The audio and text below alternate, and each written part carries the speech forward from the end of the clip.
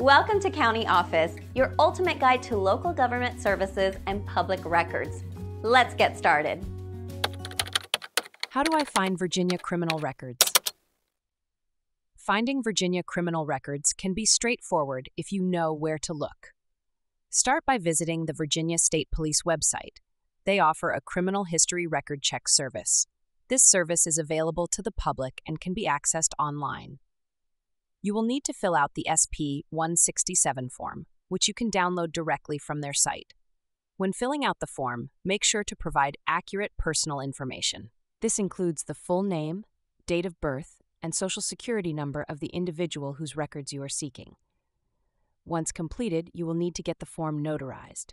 This step is crucial as it ensures the authenticity of your request. After notarization, submit the form along with a $15 fee. The fee can be paid via check or money order made payable to the Virginia State Police.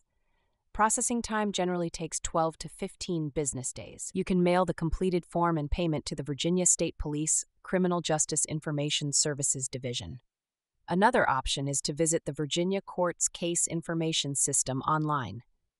This database allows you to search for criminal cases by name or case number. It is a free service and provides detailed case information, including court dates and case status. For more localized searches, you can visit the clerk of the circuit court in the county where the offense occurred.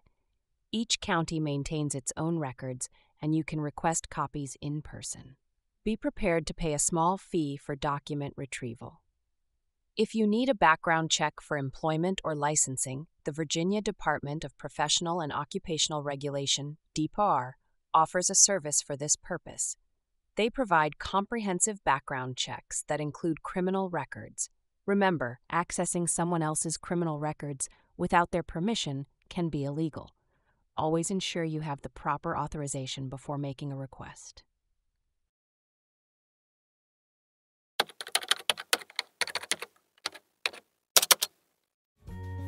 To learn more, check out these links, which you can click in the description below. And feel free to comment your questions. We're here to help. Thanks for tuning in to our video. Please like and subscribe and leave a comment below. See you in the next video.